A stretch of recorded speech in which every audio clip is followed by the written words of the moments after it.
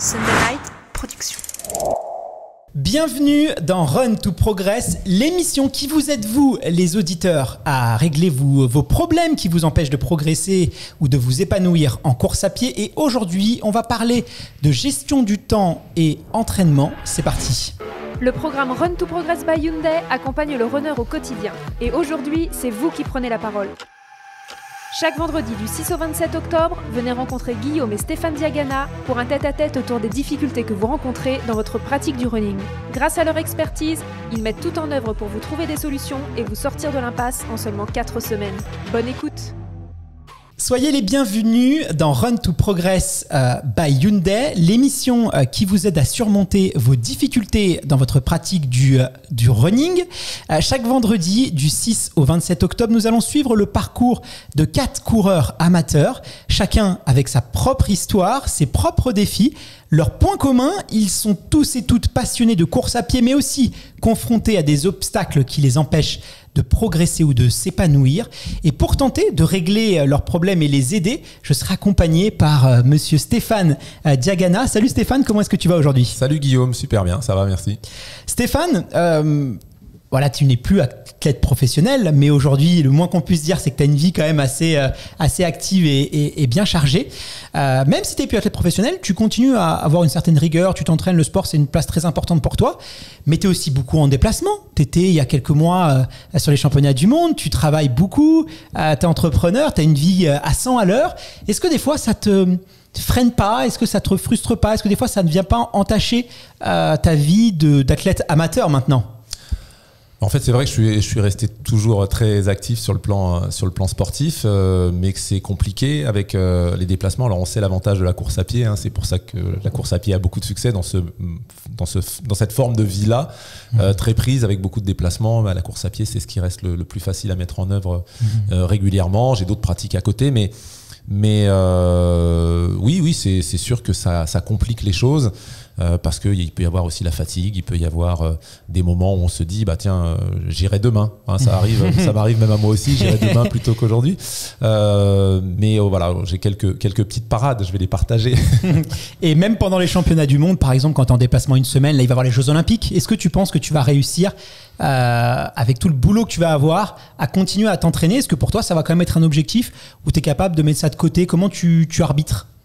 Non, j'en ai besoin. Alors c'est vrai que c'est curieux euh, parce que euh, là sur les championnats du monde à Budapest, ça fait 70 heures de, de- de retransmission en 9 jours, donc ça fait euh, C'est assez- chargé. C'est assez, assez chargé.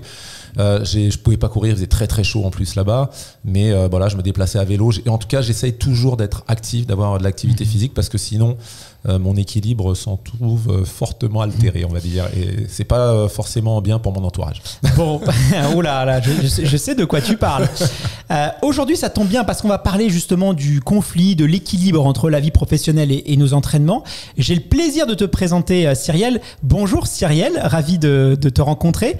Euh, Est-ce que tu peux nous parler un peu de, bah, de ton parcours de coureuse, de sportive au sens large, et les défis auxquels tu es confrontée euh, actuellement Et on va essayer de t'aider. Ok, super. Bah, bonjour à Guillaume, bonjour Stéphane. Euh, donc euh, moi, euh, donc je suis entrepreneur, donc euh, j'ai un planning euh, bien chargé. Euh, avant, avant, dans ma jeunesse, je faisais de la gymnastique rythmique, donc j'étais assez sportive. Euh, je m'entraînais euh, de nombreuses heures par semaine et j'arrivais à tenir euh, les entraînements et les études.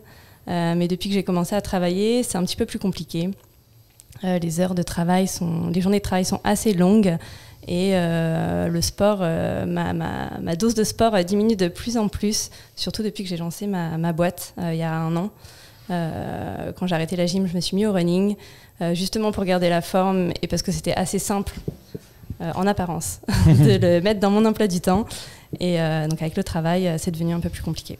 Est-ce que tu penses que, euh, bah, tu nous dis que tu as fait de la, la gymnastique en compétition, tu as fait du sport en compétition, aujourd'hui tu as, couru aussi. Est-ce que tu penses que tout ça, ça t'a construit Ah, Aujourd'hui, tu es, voilà, es à ton compte, tu es entrepreneuse, euh, entrepreneur. Est-ce que c'est quelque chose qui, euh, qui a eu un rôle clé peut-être dans euh, ton, ton envie, ton goût de relever des défis? Totalement. Je pense que pour moi, le sport, euh, corrige-moi Stéphane, si peut-être c'est la même chose pour toi, mais moi ça m'a, c'est vraiment l'école de la vie pour moi, ça m'a construite et ça m'a permis vraiment de réaliser plein d'objectifs aussi bien perso que pro. Mhm. je pense que j'ai, j'ai une volonté, une détermination qui, qui, qui, sont assez fortes et justement ce qui me permet d'atteindre des objectifs sportifs ou professionnels. Quand on est entrepreneur, de toute façon faut avoir la gagne, comme en sport. Donc, euh, C'est vrai qu'on euh, on parle souvent des bienfaits euh, physiques du sport, mais il y a aussi un peu ce, bienfait mental. Et quand on n'a pas eu la chance, parce qu'on n'enseigne pas la confiance en soi à l'école, on n'enseigne pas le dépassement de soi, l'atteinte des objectifs. C'est vrai que, en tout cas dans les écoles françaises, c'est pas le, le, le, cursus, c'est pas au programme du, cursus. et quand on n'a pas la chance d'avoir fait soit des écoles secondaires, l'école de commerce, ou que ça, c'est des, des valeurs qu'on enseigne, ou qu'on n'est pas né dans une famille qui nous a inculqué ces codes. Euh, parce que c'est pas tout le monde, et eh ben le sport, c'est aussi un moyen un peu d'égalité sociale par rapport à ça, d'apprendre que quand on s'entraîne pour un objectif, quand on se prépare dur, même quand on pense qu'on ne va pas y arriver, mais si on met tout en œuvre, finalement, je peux pas dire tout est possible, mais presque. Oui, c'est euh, intéressant. Et puis ce que je dis souvent, c'est euh, c'est pas d'aller vers le haut niveau ou le très haut niveau qui est important, ou d'atteindre le haut niveau ou le très haut niveau, c'est de tendre vers ce très haut niveau mmh. et d'aller vers son très haut niveau à soi.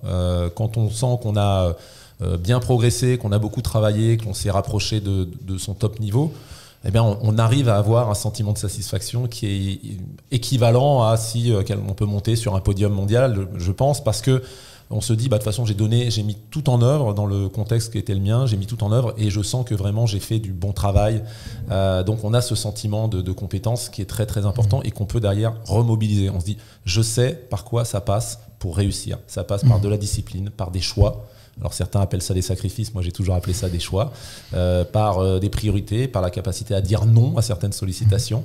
Et, ça, bah, on l'apprend, euh, on l'apprend dans un sport. Alors en plus dans des sports dits individuels, parce que c'est toujours la performance est toujours un travail collaboratif, mais dits individuels comme la GRS ou comme l'athlétisme, on est vraiment je pense, assez bien armé pour se lancer euh, hmm. dans l'entrepreneuriat. On n'est pas noyé dans un collectif. Et voilà, on est bien. Et pourtant, mais on sait à quel point il faut savoir s'entourer hmm. pour autant, pour réussir, parce qu'on ne réussit pas tout seul. Donc, on a à la fois euh, cette dimension euh, d'engagement individuel très très fort. On peut pas compter sur les autres si on ne fait pas soi-même, mais on sait qu'on a besoin des autres malgré tout. Hmm. Donc, je pense que ce sont des des enseignements qui sont assez intéressants pour pouvoir aller vers l'entreprise et c'est peut-être logique aussi mm. qu'on ait envie d'aller vers euh, l'entrepreneuriat. Ah, c'est l'école de la vie, la course à pied, je dis tout le temps et c'est pour ça que c'est important le, sport à l'école. C'est aussi une affaire de justice sociale, je pense.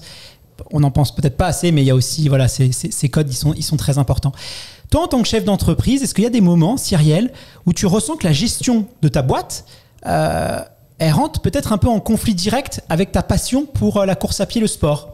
Bah, Totalement. En fait, euh, vu qu'on vient, de, on vient de lancer la boîte il y a à peu près euh, un an, euh, il y a beaucoup de choses à faire. Il faut aller chercher des financements, il faut développer le produit, il y a une stratégie, une vision à mettre en place. chaque jour, ça, ça, bouge, tout bouge tout le temps quand on évolue dans le monde des startups. du coup, bah, la course à pied, les entraînements de course à pied bougent au même rythme que, que mes journées et parfois ça, ça saute totalement. Et je, je je me dis que je le ferai demain et puis je le fais pas demain. Et je me mhm. dis que je le referai après euh, ce week-end. Et en fait, le week-end, je me repose pour mhm. réattaquer la semaine après. Donc, euh, j'ai un peu du mal à, vraiment à me caler un vrai rythme, en fait, comme avant, quand, comme quand je faisais de la gymnastique, en fait, où je savais que le lundi, le mardi, le mercredi, euh, j'allais au sport. Là, j'ai un peu plus de mal. Combien de fois tu t'entraînes par semaine actuellement? La vérité, hein Toute la vérité toute la vérité, zéro. Pour l'instant, tu as lâché un peu la, pratique de la, de la course? J'ai lâché un peu la pratique de la course. J'ai quand même couru euh, au mois de fin juin, début juillet. Mhm. Euh, j'ai repris la course à pied euh, pour faire une course. et depuis, j'ai rien fait. donc là, je, me suis dit que ça allait me redynamiser d'aller mhm. potentiellement faire une prochaine course, me donner un objectif justement pour euh, me dire bah là euh, un objectif un peu ambitieux pour me dire que là faut, faut, vraiment que je m'y mette et que et qu'il faut que je m'entraîne parce que sinon je vais pas courir les kilomètres. Est-ce que euh, aujourd'hui tu as identifié un peu les freins à ta pratique de la course à pied? Parce que moi, quand je t'entends parler du sport, je vois quand même que chez toi, ça c'est quelque chose d'important, ça fait partie de ton identité, de tes valeurs. aujourd'hui, tu es un peu dans une impasse. Est-ce que tu as identifié vraiment aujourd'hui ce qui fait que tu n'arrives pas à t'entraîner? Est-ce que tu penses que la charge mentale de ton entreprise, ta volonté de réussir, euh, toutes les contraintes, toutes les difficultés, parce que Dieu sait qu'aujourd'hui, quand tu es entrepreneur, surtout en France, c'est compliqué. Euh, voilà, on doit tout le temps surmonter des obstacles. Est-ce que tu penses que euh, bah, tout ça, ça prend toute ton énergie en fait, et que du coup, tu n'as plus de, ressources pour, pour courir Comment tu vois les choses? Est-ce que c'est une question d'organisation aussi? Est-ce que tu as déjà essayé d'identifier un peu les, problèmes que tu rencontres? Je pense qu'il y a de ça, il y a le fait que ça prend beaucoup d'énergie et que euh, intellectuellement et puis même de passer d'un sujet à un autre en fait euh, il y a beaucoup de charges euh, mentales qui fait qu'à la fin de la journée même si je pourrais aller courir je le fais pas parce que je suis fatiguée. Mhm. alors après parfois je le fais. Et en fait ça me fait du bien. Voilà. Est-ce que tu regrettes d'être allé courir des fois? Parce que des fois on n'a pas envie d'aller courir. Est-ce que tu regrettes on dit souvent qu'on regrette ne pas y aller mais on regrette jamais d'être y allé. Est-ce que toi c'est en fait, jamais. J'ai jamais regretté, euh, même quand j'ai pas du tout envie et même quand la séance se passe pas très bien. En fait, même quand je sens que c'est dur, que j'ai les jambes lourdes, que je suis fatiguée.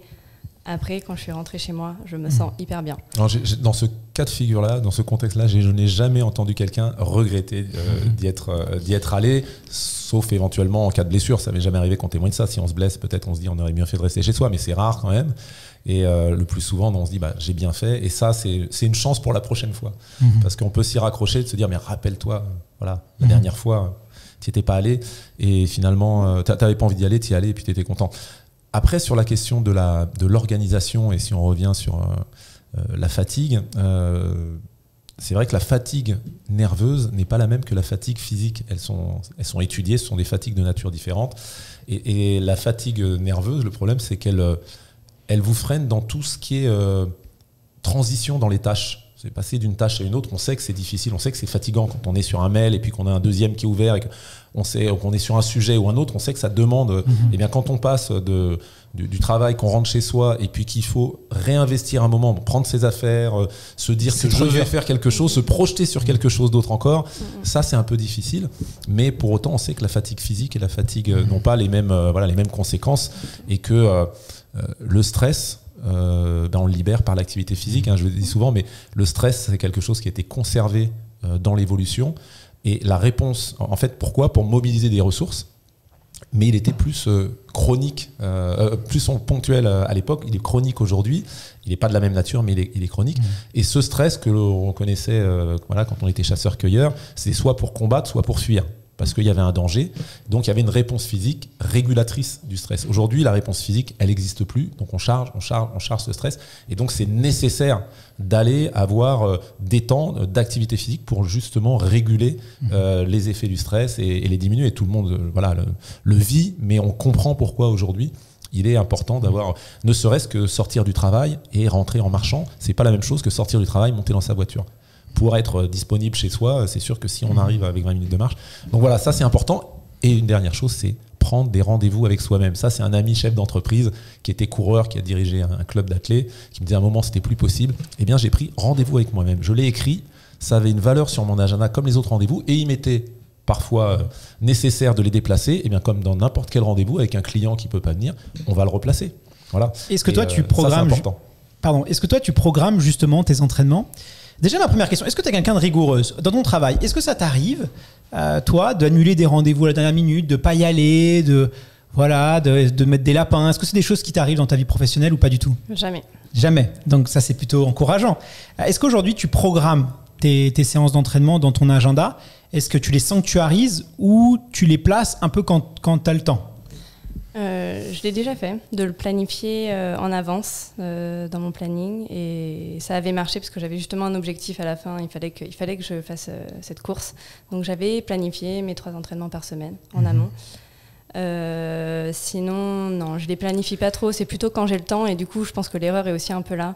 Mhm. De pas planifier, en fait, de pas me de faire une routine en fait de cette, euh, de cette course à pied. Il y a une autre solution, hein, c'est un peu ce que tu disais. Toi, tu, te fixes, euh, Guillaume, tu me disais des objectifs, un objectif de kilométrage par semaine. Euh, moi, j'ai un peu la même chose. Est-ce que tu pourrais pas te, fixer un objectif de séance par semaine en te disant voilà, le week-end, je dois trouver du temps pour moi, au moins deux séances, une fois le samedi, une fois le, dimanche, et en semaine, je dois trouver une, que ce soit le lundi, le vendredi, le mardi, peu importe. Et peut-être que ça, ça te donnerait à la fois quand même un cadre d'engagement, mais en même temps une souplesse euh, par rapport à, par rapport à ton, ton travail. Oui, je pense que c'est gérable de faire quelque chose, quelque chose comme ça et de ne pas fixer un objectif trop ambitieux tout de suite à me dire je vais faire trois entraînements dans la mmh. semaine, puis un petit peu le week-end. Commencer par le week-end peut être intéressant parce que j'essaye de ne pas travailler le week-end. Euh, c'est un peu une règle, une règle d'or pour justement prendre du temps pour moi. Donc ça peut être intéressant de fonctionner comme ça. Pour toi, une, séance, une bonne séance de course à pied, ça ressemble à quoi Quand tu as vraiment eu l'impression de t'entraîner? Euh, Une bonne séance de course à pied, c'est quand bah, j'ai pris du plaisir en fait pendant ma séance euh, et qu'à la fin, je suis, mhm. je suis, je suis bien fatiguée. Mais est-ce que tu la quantifies en termes de durée, de kilomètres, de sensations? Euh, non, je la quantifie pas. Je mhm. Je quantifie pas. Je sais qu'il faut que ça soit souvent euh, entre 5 et 10 km pour quand même mhm. commencer à ressentir les effets, bah, les, du, sport, de la course à pied. Mhm. Bah, ça justement, c'est. Alors moi, souvent, j'ai remarqué. Alors, il y a plein de choses intéressantes dans ce que tu dis, mais j'aimerais rebondir quand même sur, sur, sur, sur, voilà, faire un peu un, petit point sur tout ce que tu nous as dit. Déjà, par rapport à, ton emploi du temps, qui est quand même assez chargé en tant que chef d'entreprise et toutes les responsabilités que tu peux avoir, Stéphane, toi, c'est vrai que tu connais bien le sujet de la sédentarité. C'est quelque chose qui a été étudié. Donc, on a essayé un peu d'analyser les, tranches de population euh, qui étaient les plus sédentaires. Et c'est vrai qu'intuitivement, on a tendance à penser les personnes qui ont le plus de temps, hum, qui travaillent pas, qui sont peut-être à mi-temps, qui ont, du temps, vont faire plus de sport. Alors que non, les études ont délivré que les professions libérales, les chefs d'entreprise étaient beaucoup plus sportifs que la moyenne de la population. Il y a des médecins sportifs, il y a des chefs d'entreprise sportifs, il y a des cadres dirigeants très sportifs. Et donc, on s'est rendu compte qu'il n'y avait pas une corrélation, que c'était même plutôt l'inverse. Ça, ça paraît surprenant. Est-ce que toi aussi tu le constates? C'est pas corrélé directement. C'est pas ceux qui ont le plus de temps en dehors de leur travail qui vont s'entraîner le plus. Des fois même bien au contraire. En fait, il y a une différence sur la pratique d'activité physique homme-femme. Les hommes à tout, à tous les âges pratiquent plus que les femmes et ça c'est un problème euh, culturel, d'éducation, la place du sport, le sport féminin, donc tout ça sont des, enjeux euh, importants. Et puis après, euh, il y a, on voit des différences avec des catégories socio-professionnelles. Hein. même les, quand vous regardez sur des applications comme Strava les lieux de pratique, vous voyez que c'est très corrélé à des niveaux socio-professionnels différents. Mmh. On pratique plus dans les professions que, que, tu as, que tu as citées, plutôt CSP, comme on dit, que dans d'autres professions. Et, et c'est pas qu'une question de temps, c'est pas qu'une question de temps, c'est une question euh, de, de, comment dire, de prise de conscience, d'information sur ces, sur ces mhm. sujets-là aussi, et puis de culture euh, globale. On a dans son environnement, dans ces métiers-là, des gens qui pratiquent, mhm. donc ils vont vous prendre par le bras pour vous dire, bah tiens, euh, viens courir, viens essayer, voilà. Et ça, c'est vrai que c'est c'est surprenant, mais mhm. c'est la réalité. Même des gens qui sont très pris professionnellement voilà, sont, sont capables d'avoir une, une, régularité de pratique. Même des grands chefs, on se souvient de Steve Jobs, qui voilà, tous les matins commençaient euh, par une séance de sport à, à, 5 heures. On a aussi euh, des grands dirigeants d'entreprise en France qui sont très très sportifs. Et c'est vrai même que culturellement, ça a changé. L'image du chef d'entreprise avec son cigare, qui fume des cigarettes, qui passe sa vie au restaurant, elle est très éloignée parce qu'aujourd'hui, on vit dans un monde tellement compétitif, on vit dans un monde euh, où tout va très très vite depuis euh, Internet, depuis les, moyens de télécommunication, qui font que finalement les chefs d'entreprise aujourd'hui sont des athlètes de haut niveau et ça, tu dois le constater euh, tout le temps. Oui, j'ai même échangé avec des, des chefs d'entreprise qui disaient c'est quelque chose que l'on regarde aujourd'hui parce qu'il y a certains métiers euh, qui sont ce qu'ils sont et qui font qu'on peut faire trois continents en dix jours euh, mhm. avec les décalages horaires. Et si vous n'avez pas une bonne condition physique, une bonne alimentation, une, voilà, hydratation, voilà, une bonne, voilà, exactement, mhm. euh, c'est plus compliqué que, mhm. que si tout ça est, bien géré. Donc voilà, on peut le regretter, on peut dire que c'est dommage, mais la réalité pour certains métiers, c'est que la condition physique doit être, on peut le regretter ou pas d'ailleurs, mais, mais voilà, doit être à un très très bon niveau. Alors ça, c'était pour poser un petit peu les, bases. J'en reviens à ce que tu me disais par rapport aux, entraînements et aux séances. Et c'est vrai que moi, j'ai constaté euh, que souvent, les, quand on court pas beaucoup, on a envie d'aller faire 10 km, on a envie de, voir qu'on a, qu'on a fait un entraînement, qu'on est rentré dans, le dur. Et il y a cette idée, voilà, si c'est moins de 45 minutes, on ne va pas progresser, il faut que ce soit 1 heure, 1 heure 15. Alors qu'aujourd'hui, il y a quand même un changement de, un peu de, de mental qui dit peut-être courir 20, même 25 minutes, mais de manière beaucoup plus régulière. La régularité, finalement, elle est peut-être tout aussi, voire même plus importante que, euh, la, que la durée ou la, sensation d'effort. Et quand on manque de temps, aujourd'hui même courir 20-25 minutes, on a tendance à, dire ça sert à rien, c'est inutile, c'est voilà, ça ça vaut pas le coup. Euh, pourtant, on se rend compte que euh, dans la décentralisation, c'est même peut-être même plus efficace. Que tu es d'accord avec ça? Quand on dit ça sert à rien, ça dépend par rapport à quoi. Si, euh, si on a des objectifs de, de, de, marathon, si on fait que des séances de 20-25 minutes, à un moment, ça va, être, ça va être un facteur limitant quand même. Donc, on a besoin de faire des sorties longues. Mais si on parle de santé et de bien-être, 20-25 minutes, euh, et, et, particulièrement pour des gens qui ne, qui ne font rien, hein, qui sont aussi très pris par une, euh, une entreprise, de toute façon, moi, ça sert à rien. Non. Si vous ne faites rien, 20-25 minutes tous les deux jours, c'est c'est exceptionnel, ou même, même un quart d'heure tous les deux jours. Mhm. L'effet va être euh, très très important et peut-être plus effectivement qu'une heure euh, le dimanche mhm. seulement. Ça peut être aussi une, manière pour toi de, de re-rentrer dans, dans l'athlétisation, peut-être euh, de commencer par des objectifs très très simples que tu vas pouvoir, plutôt que te mettre tout de suite j'ai partir une heure ou faire 15 km, ça peut déjà être un, un, un très bon moyen de, de, te re-athlétiser parce que là, es, si tu cours plus, tu es, tu es désathlétisé. Oui, il faut que je reprenne doucement et j'ai dans l'idée de, de commencer par des séances de 20-30 minutes, euh, une à deux fois par semaine. Mm. Donc euh, j'espère reprendre ce week-end, c'était mon objectif. De, de m'y remettre avec des petites séances justement aussi pour faire attention à, mes, à mon corps qui n'a pas couru depuis longtemps et que ce soit pas traumatique euh, pour lui. mais je pense que ça peut être vraiment bien pour moi aussi pour mon équilibre, ce que vous disiez mm. tout à l'heure, pour mon équilibre personnel, professionnel, mental en fait, ça vide la tête, ça fait du bien. Par rapport à tes valeurs, toi en tant qu'individu, euh, la place du sport pour toi, quelle importance elle a dans ton style de vie, dans euh, ta santé, ton bien-être? Si tu devais lui donner un pourcentage euh, d'importance, donc de 0 à 100%, combien de pourcentage tu lui donnerais? Je pense que je dirais 80%. 80% C'est élevé, Et aujourd'hui, dans ton agenda, sur un mois, combien de pourcentage ça représente ta pratique sportive Franchement, sur le dernier mois, je dirais 5%. C'est un peu triste à dire, mais. mais souvent, mais, même sur le. Même, tu vois, tu te rends compte des fois où il y a des gens qui disent c'est quoi, qu'est-ce qui est important pour vous? C'est ma famille. Et quel temps j'y consacre Et quel temps j'y consacre? Il y, a une, décorrélation, en fait, c'est ce qu'on appelle aussi un peu la dissonance cognitive, où tu vois, quand on a. Euh, et ça, euh, c'est hyper déstabilisant. Ouais, ouais non, c'est sûr, c'est sûr. Et euh, si tu as y attribues autant, c'est que tu mesures bien à quel point ça, ça te structure. La question que j'avais envie de poser, te poser, c'est que là, tu ne pratiques plus. Est-ce que ça modifie des choses dans ton comportement, dans tes humeurs? Euh, Moi, par exemple, je sais que je deviens plus irritable si je manque d'activité physique. Je parle même pas de sport, mais d'activité physique. Euh, je deviens un peu plus pessimiste. La même chose, je vais l'accueillir différemment. Le même problème, je vais l'accueillir différemment. Un peu plus aigri. Toi, voilà. Est-ce que toi, ça, ça, joue? Oui, je pense que ça a un impact. Mhm. je, je, pense que je m'en rends pas toujours compte, mais ça a un vrai impact. Et euh, je me souviens qu'une fois, j'avais dit à, à, des amis, ça fait six mois que j'ai pas fait de sport, et à m'en regarder, elles m'ont dit, et ça va? Donc ça voulait tout dire. Ça voulait dire, euh, bon, bah, on sait que c'est hyper important pour toi euh, et qu'en fait, ça peut vraiment avoir un impact sur, euh, bah, sur, son, sur ton humeur. je, suis plus irritable quand je fais pas de sport, je pense, oui, ça a un vrai impact. Et c'est pour ça qu'en fait, je, je, veux reprendre, j'ai cette volonté de temps en temps de me dire, allez, je vais m'y remettre, il faut que je m'y remette parce que c'est hyper important pour mon équilibre général. Mm.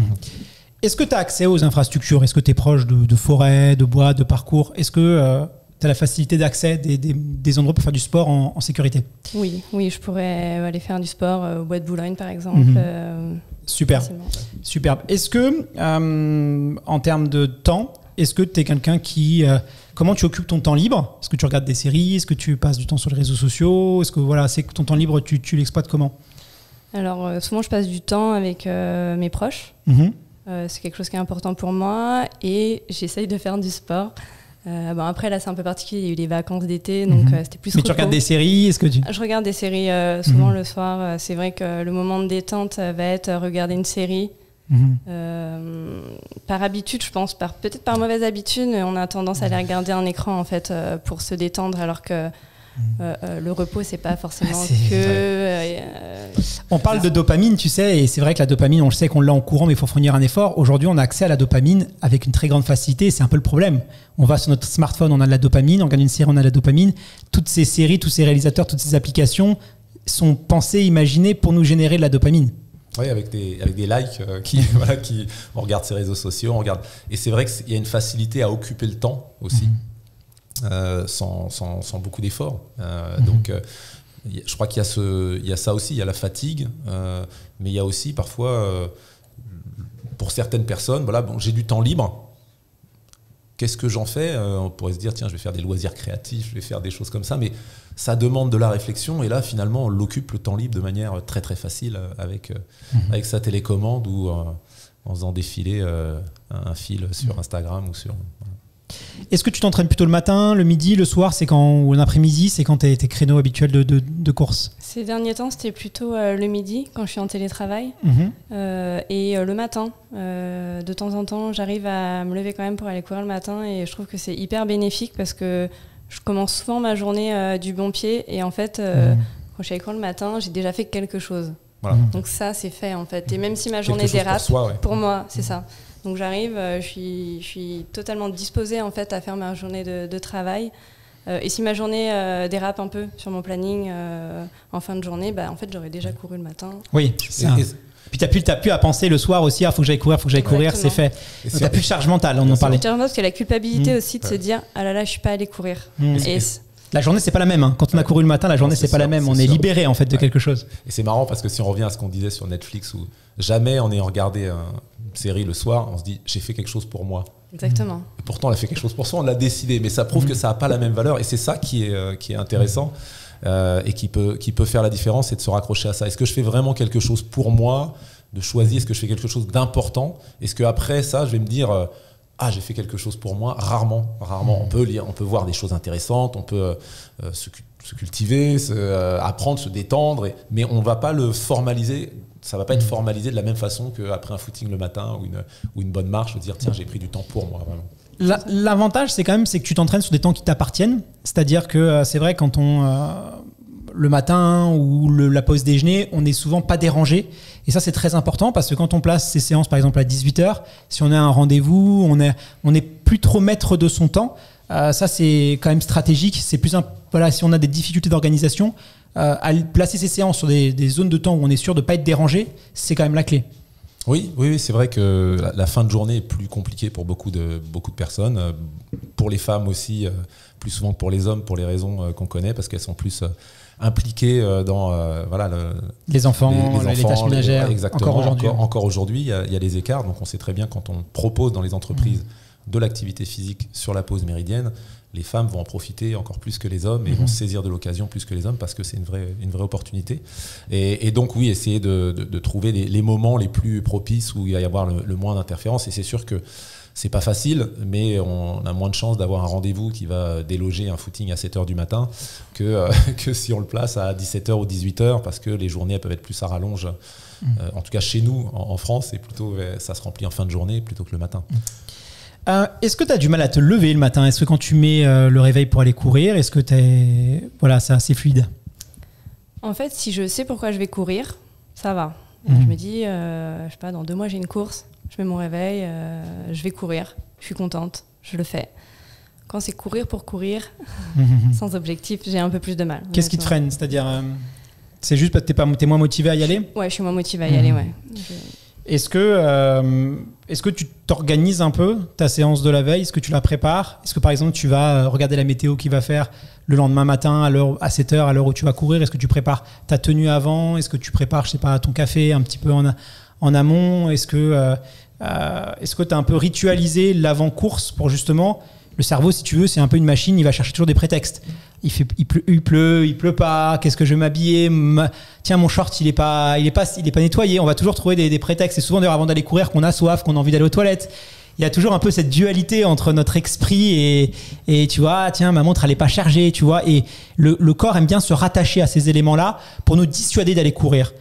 Mais psychologiquement, quand la veille, en fait, tu as déjà dédié du temps, c'est-à-dire j'ai organisé ma tenue, je suis allé voir euh, la météo, j'ai préparé mon café, je vais pas toucher à mon téléphone parce que ça c'est une distraction. Je vais m'autoriser, m'accorder le droit de toucher mon téléphone une fois que je suis rentré de ma séance. Le téléphone le soir, je le mets pas dans la chambre, je le pose, j'ai le droit de le récupérer après euh, la course à pied.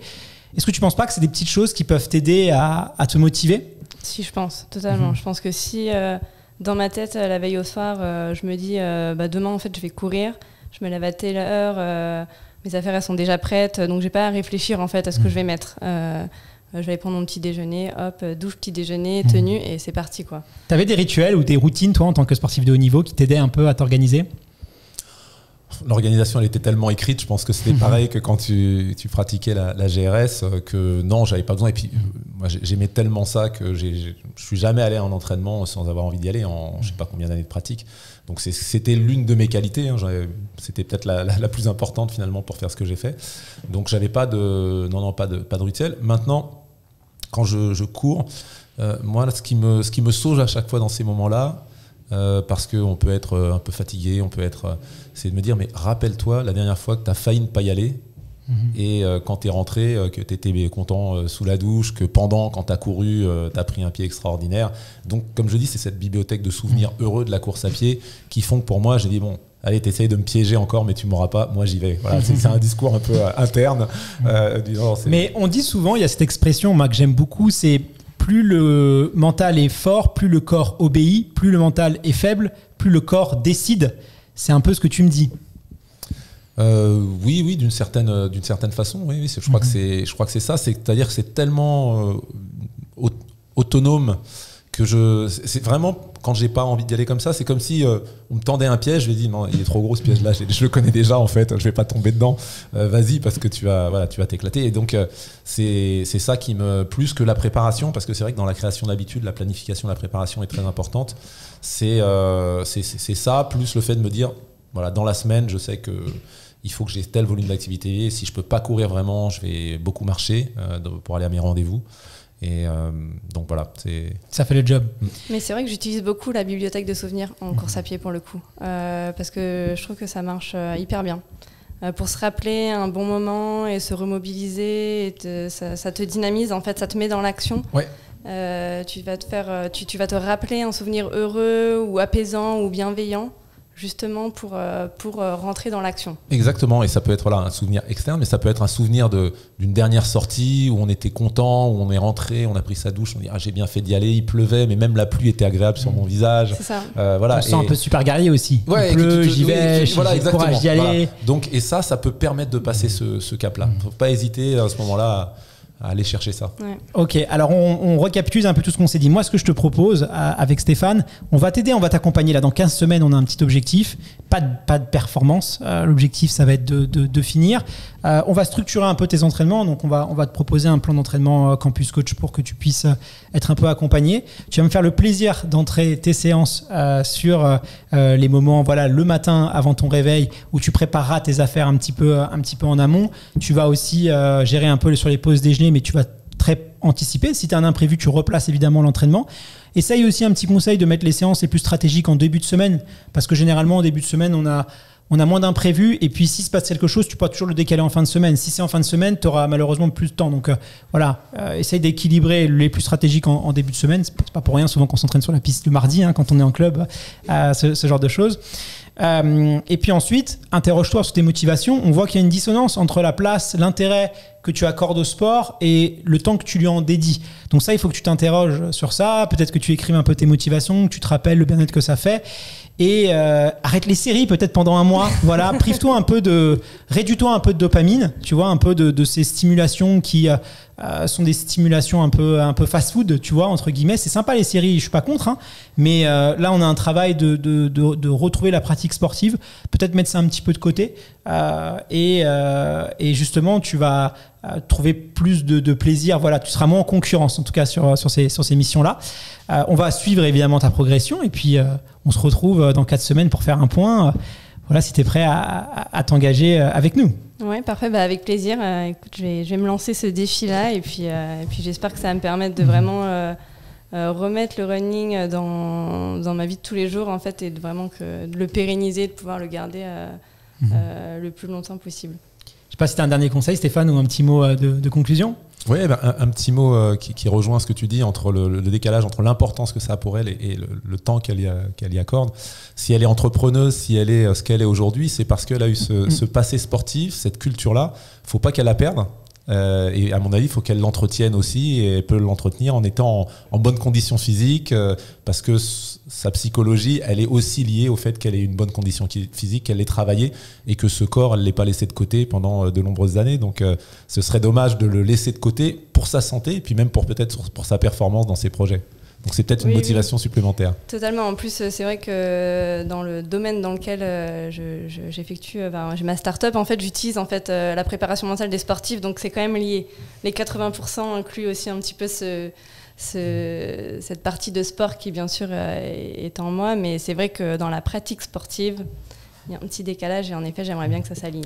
Bon, bah, on te retrouve dans quelques semaines pour euh, refaire un point. Merci à toutes celles et ceux d'avoir suivi cette émission euh, jusqu'au bout. On se retrouve euh, dès euh, lundi prochain pour un nouvel épisode du podcast Dans la tête d'un coureur. À très vite. Le programme Run to Progress by Hyundai accompagne le runner au quotidien. Et aujourd'hui, c'est vous qui prenez la parole. Chaque vendredi du 6 au 27 octobre, venez rencontrer Guillaume et Stéphane Diagana pour un tête-à-tête autour des difficultés que vous rencontrez dans votre pratique du running. Grâce à leur expertise, ils mettent tout en œuvre pour vous trouver des solutions et vous sortir de l'impasse en seulement 4 semaines. Bonne écoute